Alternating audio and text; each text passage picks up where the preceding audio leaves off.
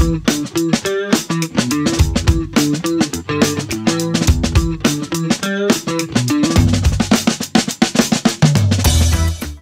guest today is Steve Andrews. Steve, how are you, sir? I'm doing well. How are you?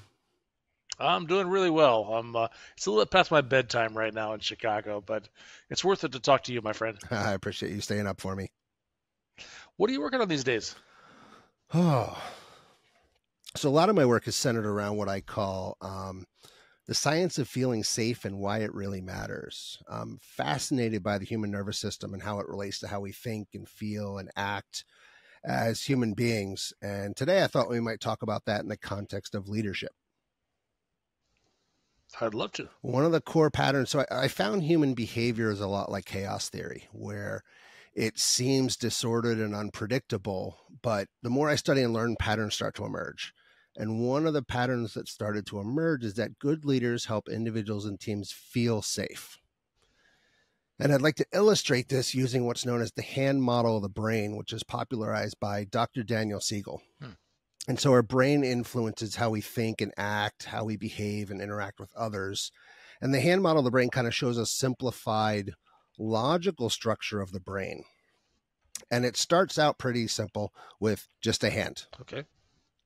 And so our wrist is our spinal cord, and the base of the hand is our brain stem and that's our hindbrain. It's kind of our primal reptilian brain. Uh, it also includes the cerebellum, and it includes our basic survival instincts. Okay. Moving forward, we pull the thumb in, and that re- represents the midbrain, our emotional or limbic brain, which is the amygdala, the hippocampus, structures like that. And it's responsible largely for emotions and reactions. And then moving forward, we pull our hand over, and now this structure is our thinking brain, our forebrain, our neocortex, which is that that um the part of the brain you see when you see a model of the brain. Okay. Right, the folded over part.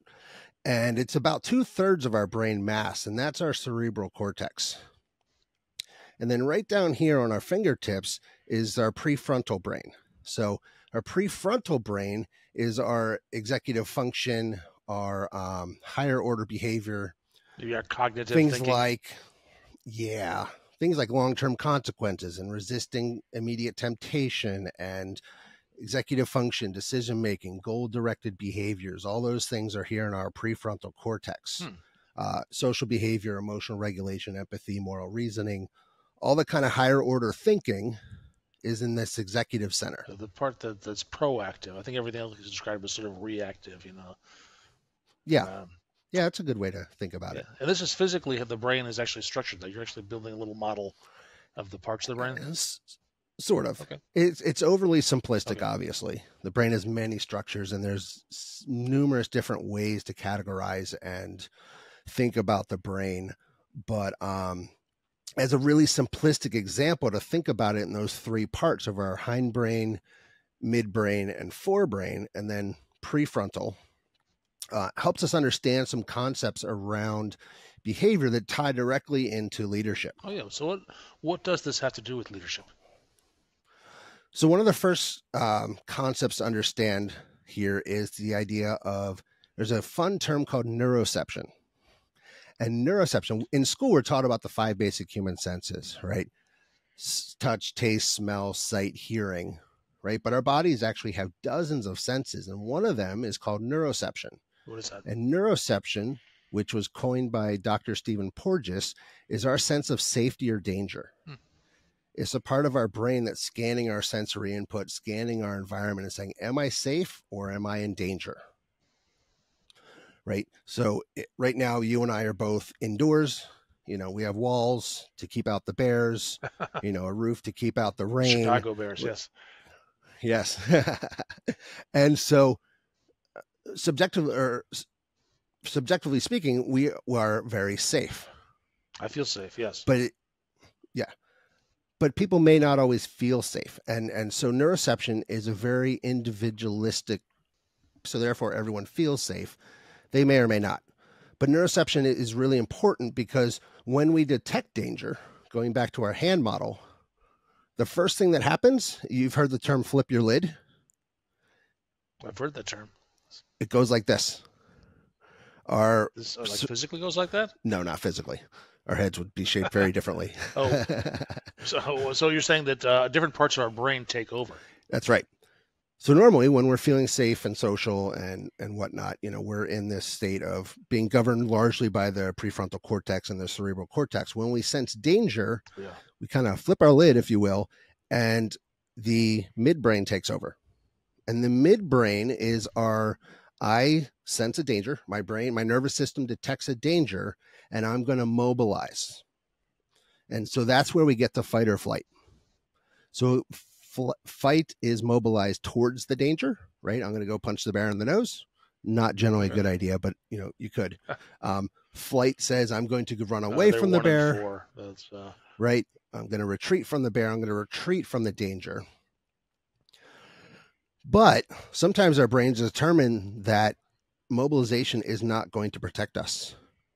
And so we go back down to the hindbrain, which is our primal reptilian brain. And that's what we call in polyvagal theory, it's dorsal vagal. And it's basically immobilization. It says, I can't defeat this danger by running away or by fighting it. I'm stuck, I'm trapped. And so we get into things like immobilization, freeze, flop, disassociation, withdrawal, shutdown, behaviors like that. yeah, like deer in the headlights is the expression I hear. Yeah. describes that. right? It's that freeze response of, I don't know what to do to handle this danger that I'm facing. And it's not always visceral things like an actual bear standing in front of us. It could be conflict with another person. It could be a danger in our social social circle or economics or our financial situation, any number of aspects we could sense, we could feel unsafe. And again, this is all very let's bring this down to leadership. What does what does that have to do with leadership? Yeah, one of the um one of the difficult nuances in psychology of course is that everyone is the same and equally everyone is different. Okay, sounds like a paradox to me. indeed. But safety comes into play uh, it's it's super critical in the workplace as well. And we're generally not unless you're a zookeeper you're generally not facing actual bears at work but we often face threats at work from coworkers from teams from managers from responsibilities from deadlines. There's all sorts of threats. And so it, and it's not always a drastic display of i'm going to run out of the building but emotionally psychologically people can mobilize or immobilize against these threats as well. And what i found is that one of the keys to leadership is great leaders prioritize making their team members and uh, their teams and individuals feel safe. In many ways leadership is about setting the emotional tone for a team. So one of the things I've developed over the past uh, number of years, as I've kind of stepped a little farther and farther away outside of technology and more into this, uh, what I call emotional well-being and understanding of of the human sciences, is I've developed a neurosocial model of emotional well-being, which looks at what are the dimensions of people being able to thrive, of people feeling safe and social, uh, of people being able to live rich and fulfilling lives. And so, what I thought I'd do is I'd go through the 10 dimensions of this model and break out 10 point, Please. 10, 10 leadership principles from each of the dimensions. And the first one at the very Let's core. start just by listing them. Can we just list them first, and then we'll go through them one at a time. Sure. Safety, identity, messages, agency, positive social connection, environment, mission and purpose, body and brain, human needs, and strengths. Okay. Yeah, and you mentioned safety uh, is a re- there's a reason that safety is number one. I'm going to guess. Yeah, at the root of everything, at the root of all human behavior. And in fact, you one way to view human behavior is through the lens of if I do X or I don't do Y, then I will be safe. Hmm. And it's more than just physical safety. I mean, it's obvi- it's easy to talk about bears and physical safety, but there's there, and that's the most basic form of safety, of course. Um, but there's also psychological safety, you know, creating an environment where individuals feel comfortable expressing themselves and taking risks and being vulnerable. There's emotional safety, which is closely related to psychological safety, but it focuses specifically on protecting individuals from emotional harm. And I'm, I'm pretty sure everyone has experienced some emotional harm at work at one point or another. Oh, preaching to the choir. Yeah. And then there's cog- now, but not too long ago. Yeah, and I I have stories I could tell as well. Um, cognitive safety is another one, and it's really about intellectual safety, right? Am I uh, uh, is am I in an environment that supports intellectual growth and learning? Right? Can I voice my opinions, explore new ideas without fear of criticism or humiliation or suppression of intellectual capabilities? Am I intellectually safe? And there's interpersonal safety, right? And, and are, am I safe in my well-being in my relationships with others? And are others safe in their relationship with me? Right? It goes both ways. Um, it involves fostering an environment where people can engage in healthy, respectful, non-abusive interactions, um, bullying, that kind of thing. We, we sure. right and that's even in the midst of change. You know, I, I've heard a number of companies recently that are that have been doing rolling layoffs, and what a what an assault to people's emotional safety. Right? There's a big fear of, sure. am I next? Am I going to have a job? If not, how am I going to find another one in this market? How am I going to support my family? And when all that fear creeps in, remember when when we go to mobilization or immobilization, we're not in the part of the brain that does our good work. Right. So yeah. productivity suffers as a result. Cooperation, collaboration, all those things suffer when we're in those situations where we don't feel safe in the broad spectrum of safety. I've seen that. There's been a lot of layoffs recently in my company, and yeah, folks are looking over their shoulder, and um, you don't do your best work when that happens. Right. Yeah. Let, us let's move on. We have limited time here. I want to go through as many of these points as we can. Uh, identity is the next one you mentioned. Talk yeah. That, so identity asks the question, "Who am I?" And good leaders ensure that their people feel valued and good about who they are. You know, encouraging team members to be their authentic self rather than you know there are some environments that try and mold everybody into everybody has to act this way behave this way and those people don't feel safe as their authentic selves in that environment and therefore they're not going to be able to bring their best to the table. Right? And to give people opportunities to thrive as themselves. And it, and it comes down to even in the the role of software engineer. So we have these roles of software engineer junior mid senior those kinds of things. But i, I feel like they're too narrow because no two brains are alike. You know we try and prescribe you have to fit in these easily definable buckets, but even among software developers, there are software developers who are great at detail work and really struggle with the big picture. It's just not one of their strengths. Sure. And there's other people who really struggle with the detail, the minute implementation, but they're really great at the big picture. But we call it all software developer.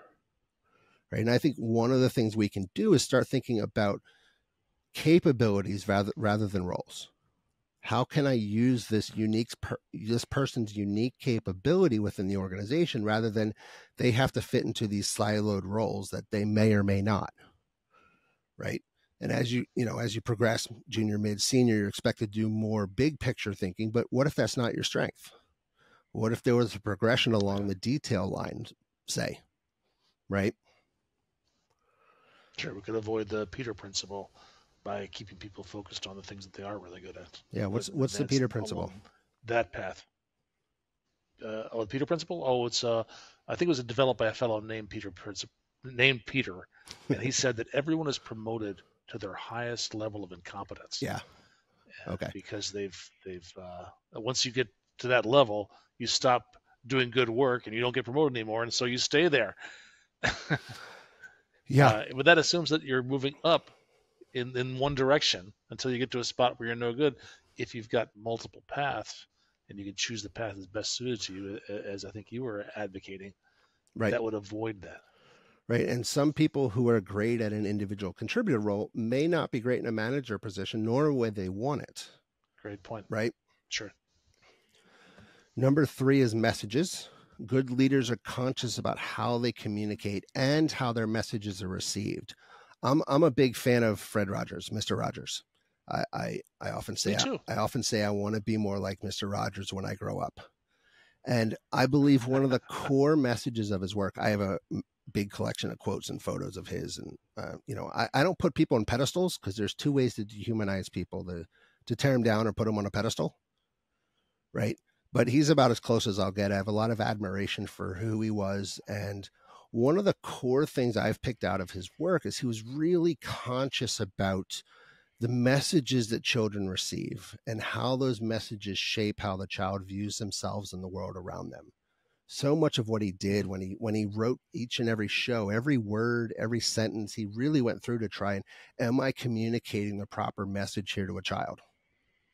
And as leaders we need to be cognizant of the same right clear open honest effective uh, calm communication right leaders are kind and gentle and gracious and, you know, if our boss starts yelling at us or acting in a panicky way or they're dramatic, what does that do to our own nervous system? Right? There's a post up on my blog talking about a concept of vagal attunement, but the gist is that we're always looking, scanning our environment, scanning each other, looking for cues of are you a safe person or not? Right? Our facial expressions, our body language, our tone of voice. And you know, I've certainly had experience with managers where I felt unsafe based on how they acted, how they communicated. So that's really important to keep in mind, knowing how to, in the midst of crisis, to kind of calm it. Same thing we do with children, right? To kind of calm, take a deep breath, yeah. ground, center myself to be able to have a productive interaction with another person. You know, manage. I like the example of uh, Fred Rogers too, because you talk about a guy who brought his authentic self to work. Yeah. He's the epitome of that. Yeah. I like to say that manage I like to say that managers know, leaders listen and learn. You know, I'm sure you've had know-it-all managers before, and it's just it's it doesn't feel healthy, right? It doesn't feel safe to be in that environment.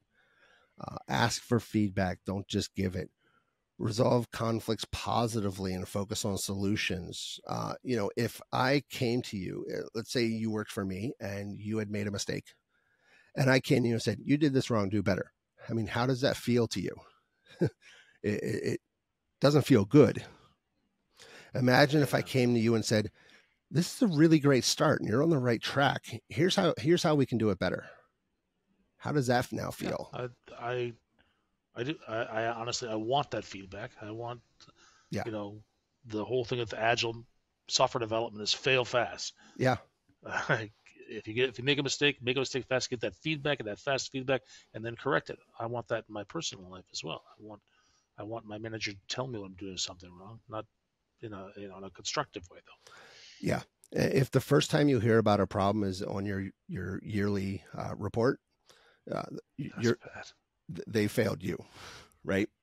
Yeah. Really be a role model for the behavior you want to see. Agreed. Number four is uh, agency. Yes. What do you mean by that? Good leaders trust and empower their people. So, agency, the word means the ability of individuals to make choices and take actions to achieve their goals, to influence and have control over their own lives. You know, at a core level in our brains, we all want to have a measure of control over our own lives, right? If we go to a job and everything is prescribed and we don't get to contribute any of our, our knowledge, skills, experience to it, it's not very fulfilling. It doesn't feel intellectually safe at that point, right? Leadership is about giving control, not being controlling Daniel Pink does a great talk. It's up on YouTube. Uh, it's an RSA Animate video called Mastery, Autonomy, and Purpose. And he defines those three things as the as really important things people want to have in their careers. So a leader can set goals and directions. You know, a, a leader saying, "Hey, I'm here if you need any help removing roadblocks or obstacles. I'm here to encourage personal growth and development." You know, really inspiring people to reach their potential is really powerful as a leader. Number five is positive social connection. Good leaders foster community interdependence and healthy relationships. You know, they really work to build a supportive team culture. Uh, good leaders honestly care deeply about people. You have to care about people in order to take care of people, mm. right?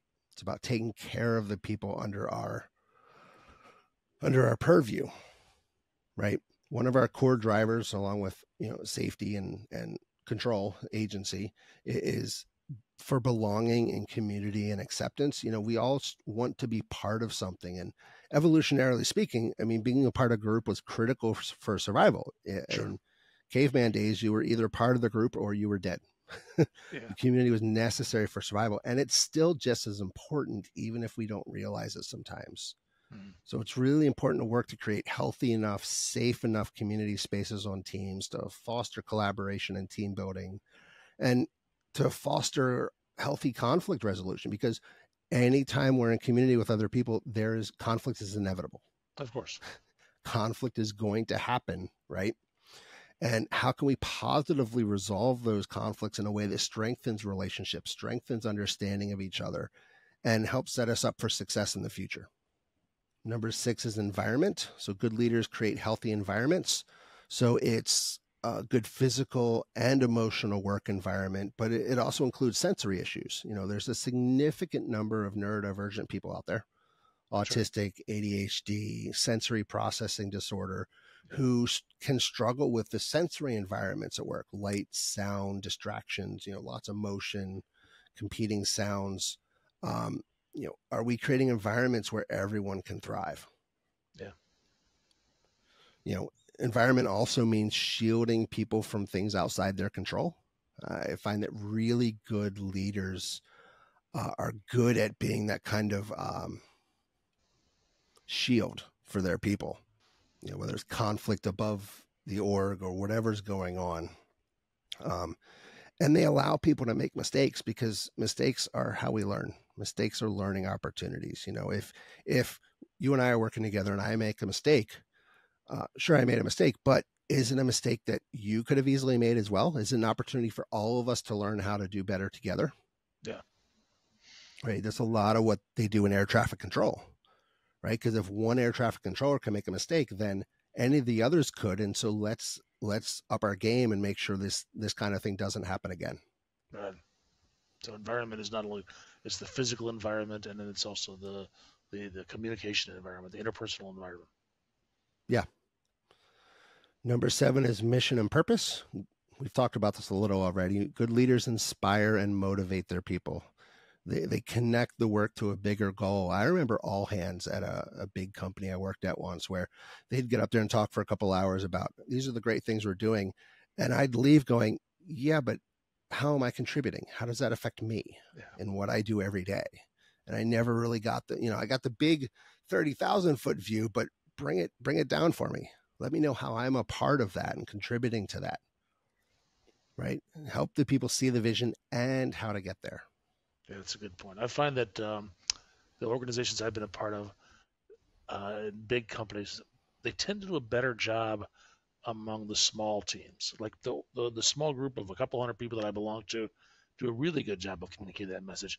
The higher up I, they, I get in the company, the less effective that message is delivered to me personally. It may work for other people, yeah. but uh, maybe they're doing a good job of communicating to a broader audience. But that's that's that's where the message I get is I I relate so much better to my manager, my teammates, my skip level manager. Get three or four levels above, it becomes less relevant to me, and that messaging doesn't sink in as well. Yeah. And part of us at, at that level, three, four levels above us, that they're solving different problems, right? They're thinking yeah. about things in different ways. And it does and that it, communication it gets it does affect me, but I, I sometimes I wonder if it does. yeah. Number eight is body and brain. I know you're passionate. So good leaders one. are inclusive. Good leaders are inclusive and prioritize physical, mental, and emotional health right? So certainly promoting physical and mental well-being, uh, but also we need all types of bodies and brains in the workplace. You know, when we talk about human genetics, we talk about genetic diversity, right? We need mm-hmm. genetic diversity as humans procreate in order to keep the, the gene pool healthy, right? And you get genetic uniformity, and the gene pool almost the gene pool can die. Yeah. The same thing is true in our workplaces, right?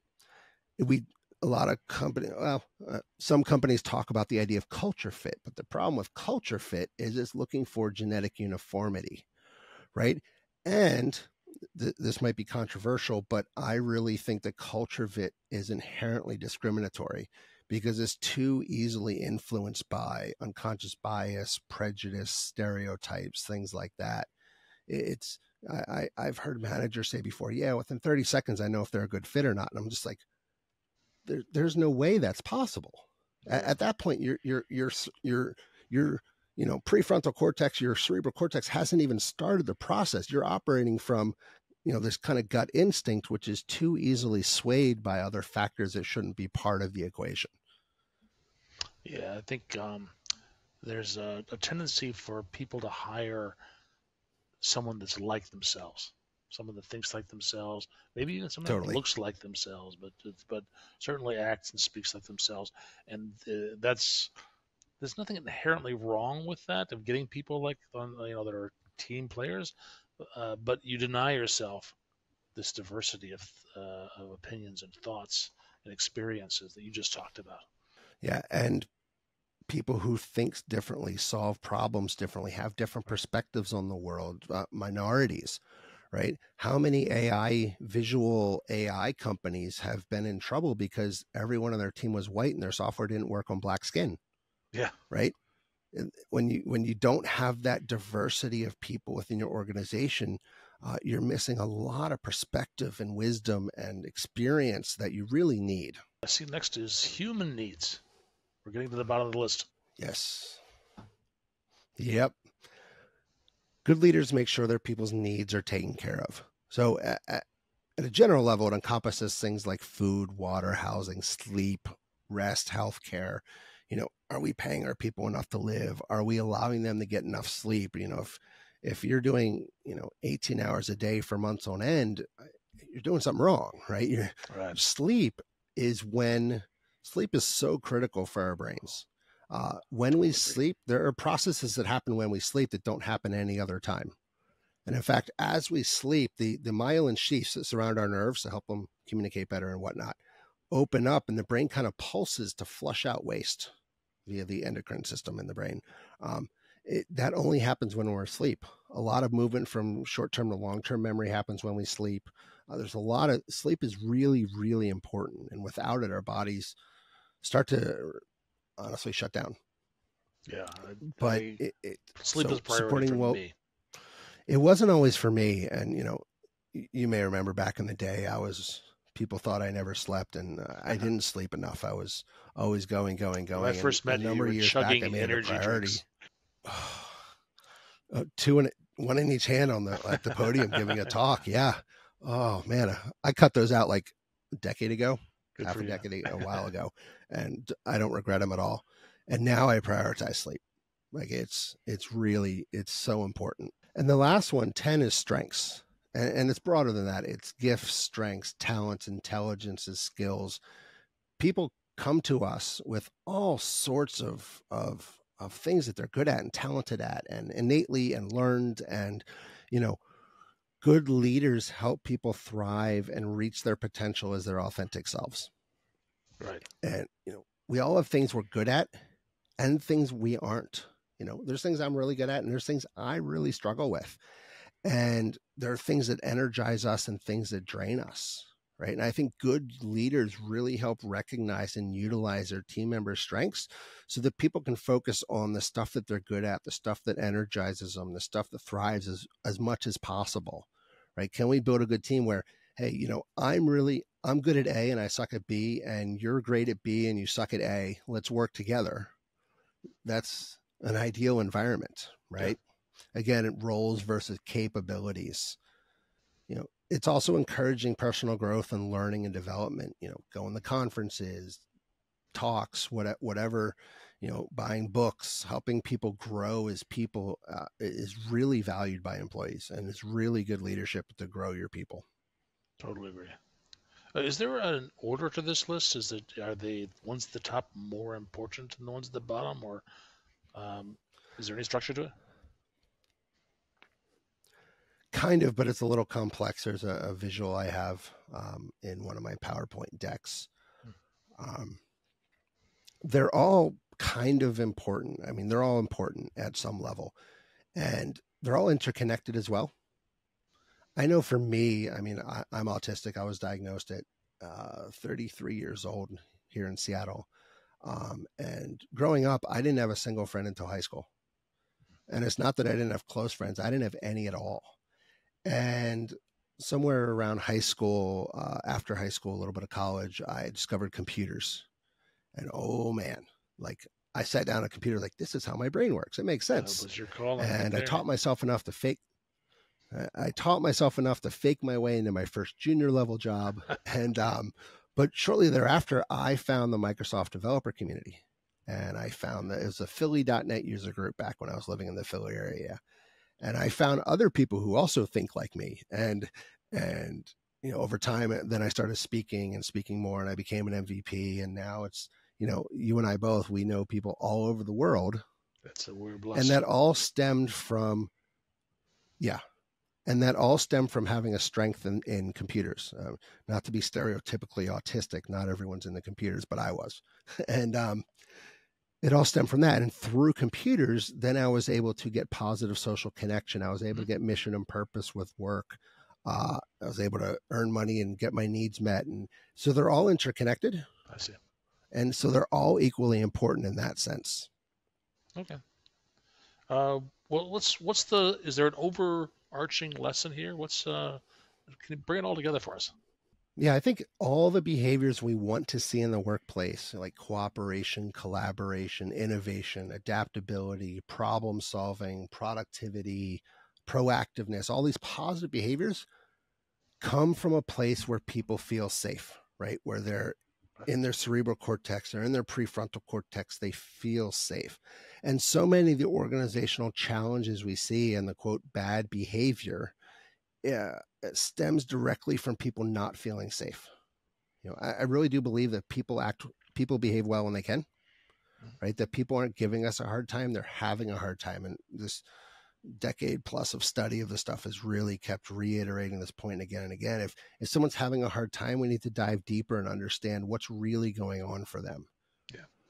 But I think overall, good leaders understand the principles we've discussed and use that knowledge to ensure their people feel safe. And that that's the body of line. That's the bottom line. Okay. that you know at that neurological level, at that brain level, do our people feel safe so people and organizations can thrive? Awesome. Uh, you mentioned your blog earlier. Are you you're you're writing about this quite a bit, aren't you?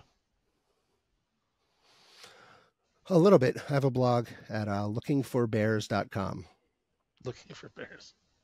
I like it. Yeah, there's a whole story on there. It's somewhere on the blog. It's somewhere on the website. There's a story about how that name came to be. Um, and uh, you, you, told me that you're doing some other writing as well. Is that right? I've I've been talking about this stuff for a while and doing keynotes and various things, and everybody keeps saying I need to write a book. So I'm uh, I'm in the kind of worst draft stage of writing a book. Did you say the first draft or the worst draft? worst draft. I, I, love that idea because you know I, I, tend to be a perfectionist, right? It comes from my own. I just write out whatever comes to the page. It's going to be the worst. It doesn't matter. That's the point. All right. Well, Steve, thank you very much for sharing this with us. I'm, uh, i have got your blog up right now. I'm going to read through it, and um, you stay safe.